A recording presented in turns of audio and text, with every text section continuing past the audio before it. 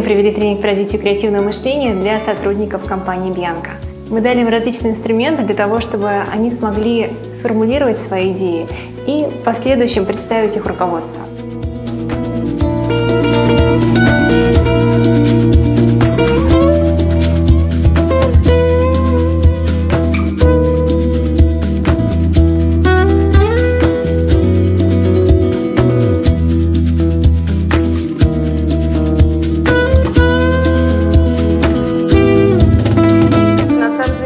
Давно хотели, чтобы нас услышали. Вы нас еще и направили, и дали нам определенные рамки. Ну, в общем, кони.